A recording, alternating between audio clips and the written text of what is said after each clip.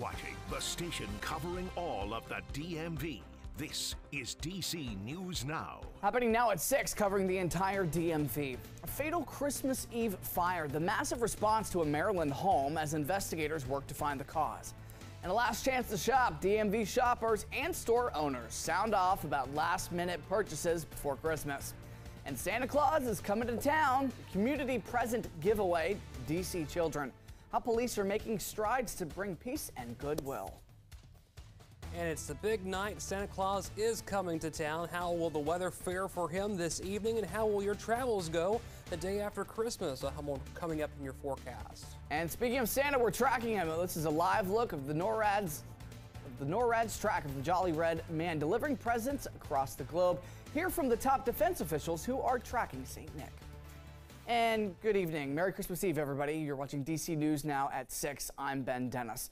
A woman is dead after a large house fire in Allegany County, Maryland. Officials say that it happened on Lee Street in Frostburg just after 7 o'clock this morning.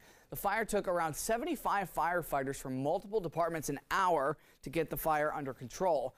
Once extinguished, firefighters found a 58 year old woman dead inside of the single family home. The cause of the fire is still unknown. DC police say that a man was killed after being hit by a car in an alleyway just last night in Northeast. We're told it happened around 10 o'clock near 5th Street. Police say the man, 34 year old Samuel Thornton of the district, fell in the alley. Then a car had entered the alley before the driver unknowingly ran him over and killed him. The driver remained on scene. He's cooperating with police. Medical examiner is ruling Thornton's death as an accident. In Prince George's County, there were 10 fights in one week at Flowers High School and a student found with a gun. Many say the recent violence there could have been avoided if the school's principal did not take leave back in October. We learned that Flowers High School principal Gorman Brown has been reinstated. They took him from us, not giving us any notification on why he was taken.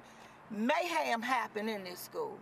So that goes to show you the power that this man have over these babies here. I know once we put Dr. Brown back in the schools, he will bring that. Now, the details of Brown's absence have still not been released. Time is 6.02. Over to weather now with Derek Bowen and for meteorologist Scott Summer. We've got a live look of Rosslyn. Hey, no sight of Santa right now, but we know he's on the way. Hey, and we also saw a little bit of sunshine today as well. We're actually sitting with partly cloudy skies. 46 degrees here in D.C. Calm winds out and about. Looks to be like a calm, nice winter's night tonight. Looking at, of course, uh, as we head over the next couple days, the, the weather pattern will change just a little bit.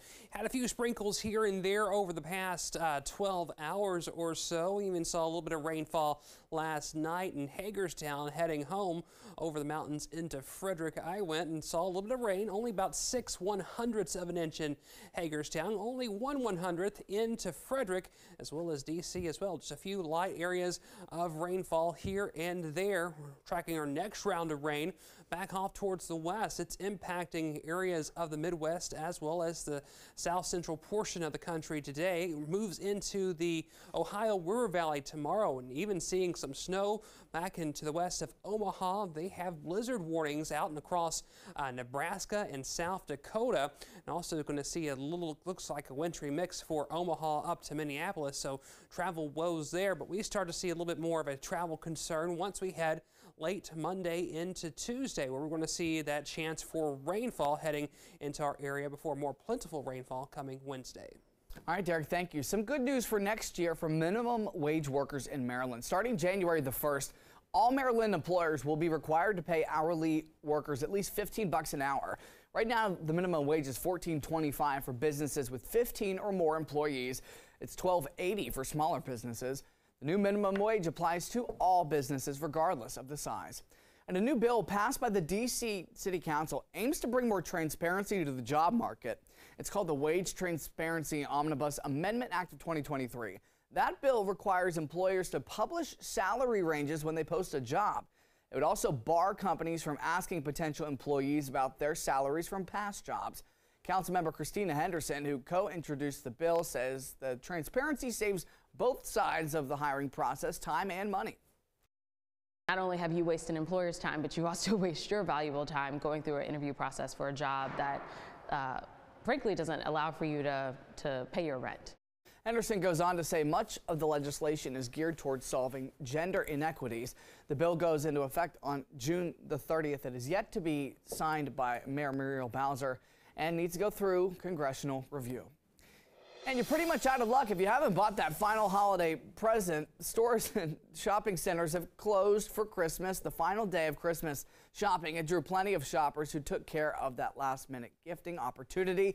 DC News Now's Dave Laval joins us from Georgetown. Dave, how busy has it been there tonight? Well, good evening to you. Ben can tell you it's a lot calmer now that most of the businesses and restaurants here have closed for the holiday. But we had a much different scene here just a couple of hours ago. Shoppers filled both or filled the sidewalks on both sides of M Street. They filled businesses as they took advantage of those last minute sales. The National Retail Federation predicts holiday sales will increase this year between 3 and 4% from last year to record levels of at least, listen to this, $957 billion. The annual survey finds each of us will spend $875 on presents and other holiday related purchases. And most of the people we spoke to told us they expect to spend more this holiday shopping season.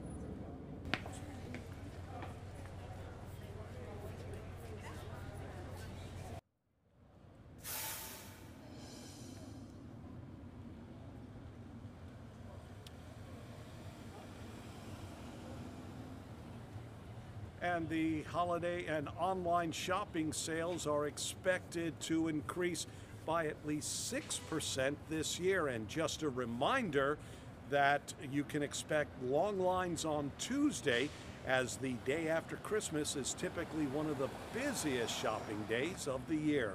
We're live in Georgetown. Dave Laval, DC News Now. All right, Dave, thank you. Well, earlier today, we were also at the Eastern Market in Southeast DC to meet up with vendors and shops that were still open. Plenty of people still shopping. We had a chance to talk with a small business owner to see how the shopping season has treated him so far this year. Thing with the holidays is a lot of our regulars maybe go out of town. DC is a transient city. However, it's transient in the other way because we have visitors coming in. And so holiday shopping is great for all my fellow vendors who are selling their wares to visitors to DC. And looking ahead to next year, you do not need a ticket to go to any of the Eastern Market holiday markets. They are free for all ages. And Christmas spirit is in no short supply in Frederick County. A woman there building a community Christmas town in her garage. It took six months to build, featuring little homes, cars, and people, all made of recycled items like styrofoam, plastic, and paper. I said, what can I do on my part to bring joy to the world? The idea came two years before COVID. And uh, when we built our home, I saw the garage and I thought, this would be a good place to set up such a thing for the community. And her Christmas Wonderland is open in her Brunswick home from 5 to 7 every night until the new year. It's time for Santa to take his trip around the world to deliver presents, and you can track his journey in real time as our Tanaya Wright spoke with Major General Huddleston of NORAD to find out how exactly they do it. First up, can you tell us about the amazing NORAD Santa Tracker? Well, it's a, um, it's a complicated uh, machine. It's uh, serviced by 1,500 Canadian and U.S. personnel using radars, satellites, and fighter jets to track Santa as he uh, progresses on his journey on December 24th. So, how, what's your favorite part of this, or how, what does it take to get ready for this big night? Well, uh, we eat we we eat a lot of uh, cookies and we uh, drink a bit of eggnog, and uh, it's an all-nighter. So uh, so we have to be uh, well rested.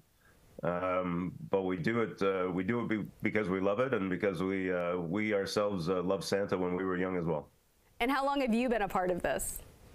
I've been a part of it for six years now. And you guys take some calls as well.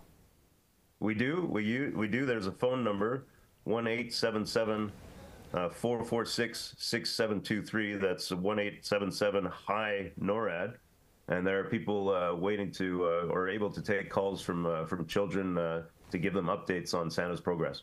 I was going to say, I bet you guys get some pretty um, cool calls and getting to hear from all the kids so excited that Santa's making his way around. Yeah, we do. Well, I mean, the whole thing started uh, when a young girl in 1955 called uh, NORAD by accident, and then NORAD realized that they had a job to do on behalf of the children of the world. That's so crazy that that's how it started. It was one little thing like this, and it sparked this idea. It's like, why not? Why shouldn't we track him? Yeah, exactly. Okay, so final question: Where can people find the Santa Tracker? How can people watch this on Christmas Eve? It's on a website. I'll just read it out. It's www.norad, N-O-R-A-D, Santa.org.